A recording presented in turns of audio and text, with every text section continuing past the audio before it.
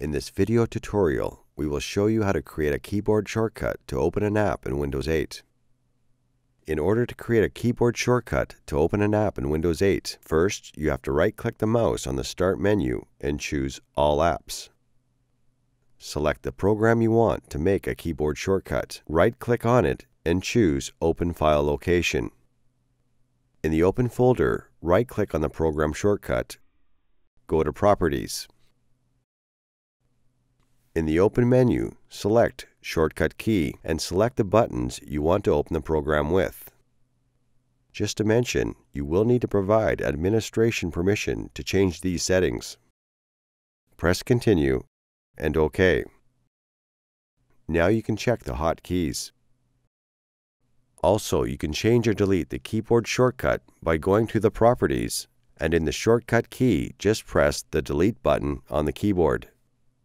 After, click Apply and continue when the message about the administration permission is shown.